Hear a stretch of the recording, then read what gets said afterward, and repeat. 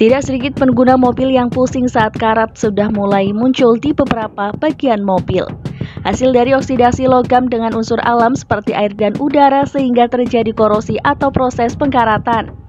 Dilansir dari suara.com, sebenarnya karat bisa dihilangkan dengan beberapa bahan-bahan dari dapur. Mengutip dari Wuling Indonesia, bahan-bahan ini bisa ditemukan di lemari es atau lemari persediaan bahan makanan dapur. Antara lain adalah lemon, cuka, serta pengembang kue atau soda kue alias baking soda. Selain menggunakan cuka, lemon, dan baking soda juga bisa menggunakan rust remover. Bahan tersebut merupakan cairan khusus untuk menghilangkan karat dengan cara yang mudah.